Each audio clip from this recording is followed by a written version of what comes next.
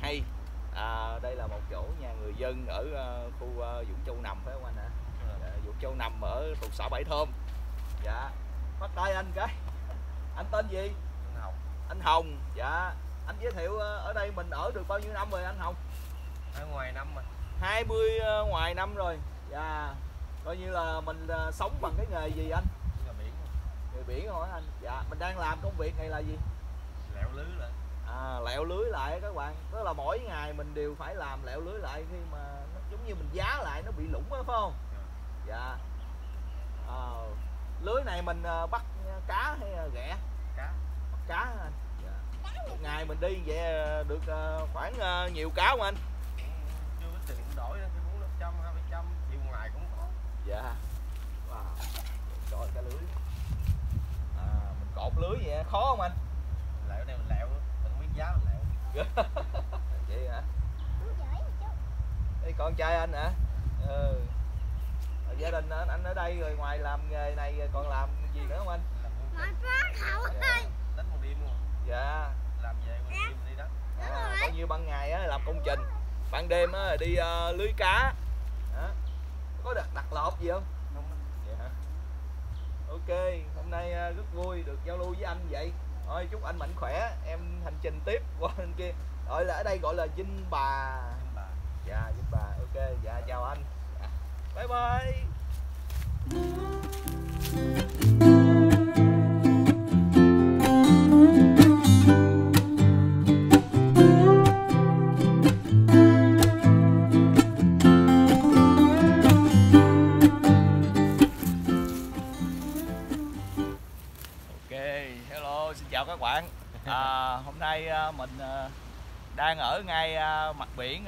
Châu Nằm với các bạn, thuộc xã Bãi Thơm thì gặp được à, anh người dân ở Phú Quốc đây. Mình giao lưu và chia sẻ với anh à, về cuộc sống chút xíu. Xin chào anh, anh tên gì? À, mình tên Hiếu Anh Hiếu. Dạ, anh Hiếu à, giới thiệu đôi nét về à, anh và cuộc sống ở đây như thế nào anh ạ? Mình ở đây thì ờ, sống cũng cấp đổi qua ngày chứ ngày xưa thì đi biển đi đồ bây giờ mình lớn tuổi rồi cũng còn đi biển tay gai gì chứ cũng không có làm như ngày xưa được nữa Ờ, ngày xưa mình về đây thì ờ, năm 85 tới giờ Dạ. thời gian đó là ờ, chưa có ai hết trơn có gia đình nhà mà đi ờ, qua cầu trắng cánh gạo về để ăn Wow. tắt đường đường đi không Dạ. bây giờ quá. nói nói chung ra là mấy chục năm rồi suy nghĩ lại ngán thiệt Dạ. chung Ủa? ra là ngán bây giờ mà đây mà lậu xuống tới nổ bánh xe thôi cũng thấy mệt thấy mệt Đấy. Dạ. Ở đây mà bây giờ nếu mà tính xuống dưới cầu trắng ờ, gọi là bây giờ là cầu Nguyễn Trung Trực giờ ha. À, ở thị trấn. Dương Đông á. Ờ, chưa tới dưới ờ, À. là cái đường ngay chân đây mình qua một khu rừng Dạ. rồi tới cái xóm nhà đó có cái cầu bự đi ngang mà đường Nguyễn Trung Trực mình luôn đó Dạ. là cái xóm nhà đó đó hồi đó xuống đó là gánh gạo lậu về đây ăn nè Dạ. Coi như Tổng là cũng khoảng ba chục cây số à, có mười mấy cây à mười mấy cây à. đi dạ. Đi dòng về đi ba dùng chục. về ba chục Dạ đó. Đi về hơn ba chục Dạ. bởi vì á là từ ở ờ, chỗ mà cái đường mà quẹo vô đây đó nó 12 cây mấy số rồi Dạ. từ đó vô đây là đâu có dưới ba cây số Dạ. là hơn ba chục cây lậu đi lậu về Bây xa. giờ ờ, cuộc sống bây giờ anh đang làm nghề gì á? đó cũng lai gai làm biển lai gai gì À đó làm biển. À. Chiếc tàu này của anh hả? Wow. Chiếc tàu của anh Hiếu á các bạn. bởi vì Thì, à, mình thì nói ngay đi mình khổ thì mình là ờ, tạo điều kiện đặng mình đi biển. Dạ. làm bằng mốt không á gắn máy thì đi Dạ. Một ngày vậy kiếm được nhiêu ờ, cá? có khi là mình nghề biển mà mình đâu có nói nó được bao nhiêu có khi quánh đi biển có bữa gì triệu mấy có khi là vô không đủ dầu Dạ. dạ. Hên xui. nghề bà cậu mà nói chung ra là nghề bà cậu mình không có ờ, nói được ờ Anh nay nhiêu tuổi rồi? 52 à Năm hai có gia đình sao rồi anh hả? Gia đình cũng gian dở bị mấy lần bây giờ mới có gặp bà sau này Ok. Rồi, gian dở rồi cũng đi thời gian rồi ờ, quay trở về quê mình rồi nhà cố cũ của mình còn ở đó thì mình về ngay căn ở cái căn cái khu vực của mình lại đó Dạ. Em ờ, đang làm cái chương trình ờ, hành trình khám phá đảo Phú Quốc. Thì trên cái kênh cuộc sống Phú Quốc á thì em đang ờ, hôm nay là em ờ, tới đây để mà em ờ, khảo sát đi khám phá trải nghiệm trên cái vị trí này là ngay Vũng Châu Nằm. Đi thẳng ra tới mũi Châu Nằm luôn. đi mũi châu nằm là đằng đó đó Ở đây chứ. đâu đằng đó À, đằng đó là cái dinh ờ, châu Dạ. đang nằm đó dạ Đó. à còn đây là à, cái vũng bùn đây là đi dài về mũi dương về giật tràm à ga mũi dương theo đây. sẵn đây tới đây mũi dương đó, dạ. đẳng là mũi dương đó là cái cầu này nó làm ở ngay trong mũi dương luôn nè đi tới mũi dương luôn. Dạ. qua khỏi mũi dương ok một chút nữa mình khám phá là từ mũi châu nằm ra tới mũi dương luôn nha các bạn. Dạ. ok rất vui được ờ, Ok. làm quen với anh và được anh chia sẻ về cuộc sống của người phú quốc. Chúc anh luôn mạnh khỏe và Dạ. thành công trong cái nghề nghiệp đánh cá của mình. Luôn. Dạ. Xin chào anh. Bye bye. Chào khán giả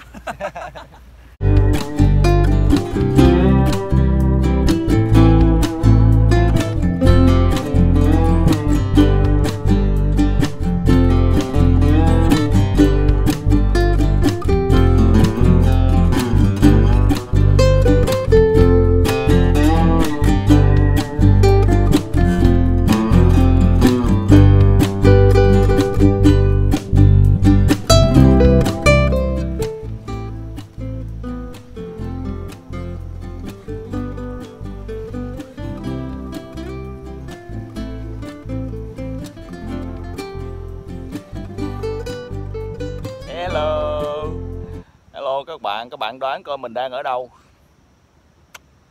Ai à mình đang ở trên cây đó các bạn. Ha ha. Ok các bạn ơi à, mình đang ở trên cây. Lý do là mình leo lên trên này để mà mình quay lại cái à, một cái bãi cát bồi á, ở ngoài biển đó các bạn. À, thì bãi cát này rất là đẹp. Nó bồi ra thành một cái bầu hình bầu luôn. Ủa mà tiếc thay là ở đây á, là nó còn thiên nhiên quan sơ đó nên không có ai dọn dẹp hết trơn á nên các bạn sẽ thấy á, là vỏ dừa nè rồi dép ba cái đồ nhựa lá tí tùm lum lá ngoài biển nó đổ vô không. À. Đấy, tuy nhiên là bãi cát đẹp, nước trong xanh đẹp. Ok, tắm ở đây là số 1, number one. Vì sao không các bạn là ở đây nó có một cái hàng dương tuyệt vời luôn. Mình đang đứng trên một cái cây dương to đó các bạn. À không, cây dương nhỏ thôi, kế bên cây dương to. Nè. Cây dương to là cây dương kế bên nè, đó. Và cây dương phía trước mặt mình nữa nè. Đó. Đó, thấy chưa? Đó, các bạn thấy không?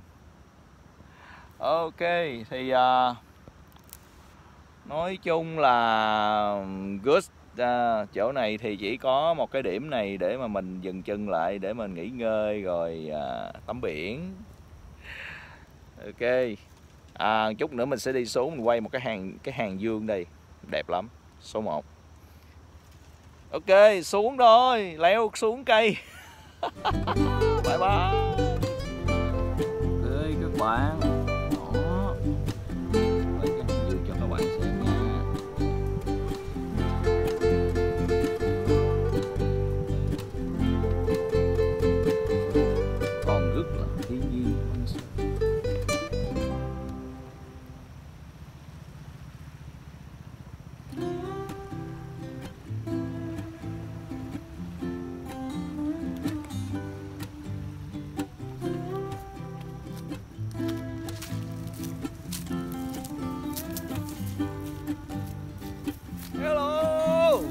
Chào các bạn. Mình đang đứng ở vị trí này là giới thiệu cho các bạn biết đó là hàng dương ở ngay dũng Châu Nằm. Rất đẹp luôn, tuyệt vời luôn. Phải nói là ấn tượng đầu tiên của mình đó là hàng dương này cùng với cái bãi biển mới nãy quay cho các bạn đó Thì cái bãi cát bồi các bạn. Thì ở nơi này thì còn hoang sơ thiên nhiên Nên đó là rất là mát mẻ, thoáng. Và các bạn tắm biển ở đây là phải là số 1 number one. Vì ai thích nắng tới đây giống mình phơi nắng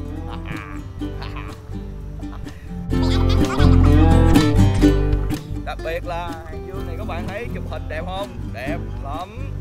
Đó mới nãy mình quay cho các bạn các bạn thấy phía xa thấy không? Là có một cái cầu bắc ngang ra gọi là cầu dẫn đó các bạn. Người ta đang làm dự án đây dẫn từ mũi dương qua bên tới mũi dũng châu nằm luôn á các bạn. Đấy. Và ở đây đặc biệt là có ờ, một cái ờ, khu di tích đó là ờ, miếu và bà Kim Giao. Ờ, ngay ở chỗ mũi châu nằm này luôn đấy các bạn. Thì ờ, giới thiệu các bạn đến đây các bạn nè. Vừa à, có một cái nơi để mà mình thể hiện lòng tôn kính tâm linh của mình về à, đức thần bà Kim Giao. Ở đây mà người dân đã tôn thờ từ, à, từ lâu rồi các bạn. Đó. Ok nó number one. Mình đi chơi thôi. Go.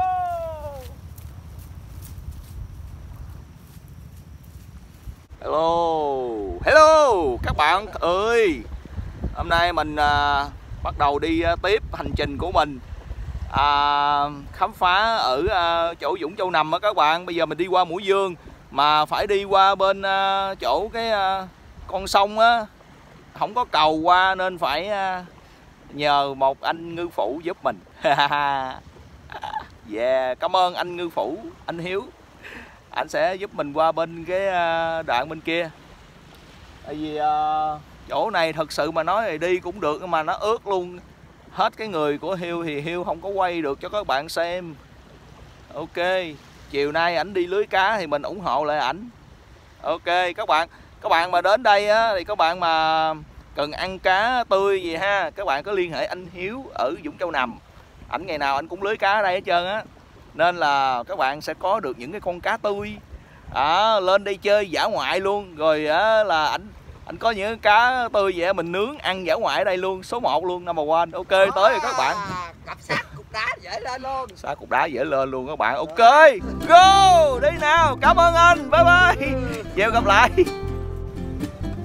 Ok các bạn thân mến trời ơi góc này đẹp quá. Phải nói là phải qua sông rồi mới quay được cái góc bên đây nè. Đó mới nãy mình leo lên cái cây dương mình không có quay hết được cho các bạn thấy cái bãi cát bồi ở đây quá đẹp luôn phải không các bạn? Đó cái hướng à, bên phải á, là sẽ đi vô à, sông đó ngay cửa sông đó. Còn cái bãi cát bồi này là ngay chỗ bảo cái cái mũi à, cái mũi cát bồi này là ra ngoài biển nè. Đó. ok. Hello xin chào các bạn. Trời ơi ở đây một bãi cát bồi quá đẹp luôn các bạn ơi các bạn thân mến các bạn biết không? Ở đây á, là một cái bãi người ta gọi là mũi cát bồi của dũng Châu Nằm á các bạn. Thì à, mới nãy một mình à, quay cho các bạn thấy đó. Đi qua bên đây để quay lại á, là rất là khó tại vì nó có một cái con sông nó ngăn trở. Và đi á, là phải lội nước qua mà lội một phát á, là nó tới ngực luôn. Nên đành mình phải à, đi trên à, xuồng của chú ngư phụ. Và bây giờ thì à, các bạn thấy, mình view lại cho các bạn cái cảnh này nè. Tuyệt vời quá, phải không các bạn? Đó. Ok, bây giờ mình sẽ tiếp tục hành trình đi tới mũi dương nha. Go!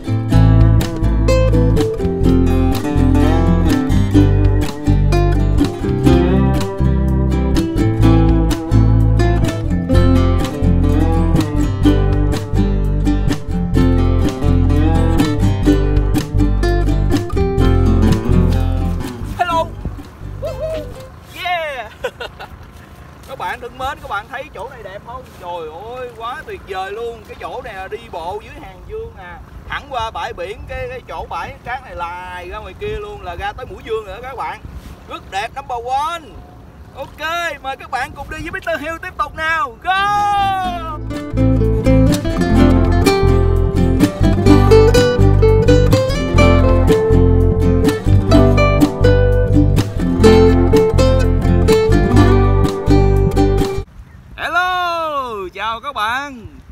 Bạn thân mến, mình đang ở ngay mũi dương của Dũng Châu Nằm á các bạn. Chỗ này rất là đẹp luôn các bạn ơi. Ở đây á, là rất là nhiều cái rạn đá đó các bạn. Các bạn thấy những cái hòn đá này nè Đó, phía xa xa sau của hiêu nè Là những cái tảng đá lớn ở ngoài biển đó các bạn. Thì diện tích của một cái tảng đá như vậy chừng là 3 mét, 4 mét dài không à các bạn. Chiều rộng nó cũng là 2-3 mét trở lên không à. Rất là đẹp phải nói là ở khung cảnh ở chỗ này á, là rất là tuyệt vời luôn các bạn. Mặc dù nắng nhưng mà vẫn có rất là nhiều cây bởi một cái hàng dương ở đây nè các bạn. Trải dài dọc trên bờ bãi biển luôn á các bạn. Bởi vậy nên nó rất là mát trên cái bãi biển. Chỗ này tắm biển là hết sảy number one. À, ok. Và đặc biệt là những cái hòn đá ở đây nè nó nhô nhô lên. Đó mình sẽ có thể là check in leo ngọn đá này chơi leo ngọn đá khi chơi chụp hình rất là đẹp một chút nữa thì hiêu sẽ leo lên cái ngọn đá ngoài này là đẹp lắm. Trời ơi nó mũi cao lên vậy nè. Ok. À, bây giờ mình sẽ quay cho các bạn xem mình leo đá như thế nào nha.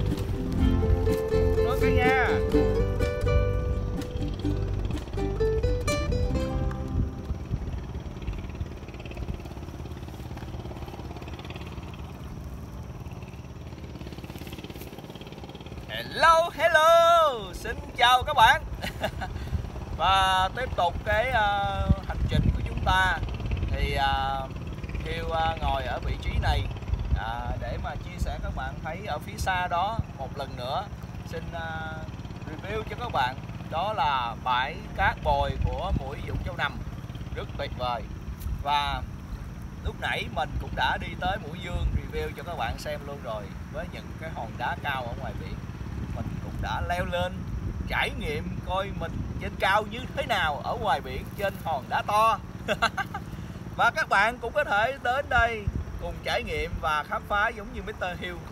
Và một đoạn đường hành trình dài ở dọc bờ biển Vũng Châu Nằm này, ở ờ, vị trí này, thật là tuyệt vời các bạn ơi number one luôn và hôm nay à, rất vui được à, chia sẻ với các bạn những điều à, mà Mr. Hill à, đã trải nghiệm qua tại nơi đây và chúc các bạn sẽ luôn vui vẻ, mạnh khỏe và có những chuyến du lịch thật là vui đến Phú Quốc này nhé.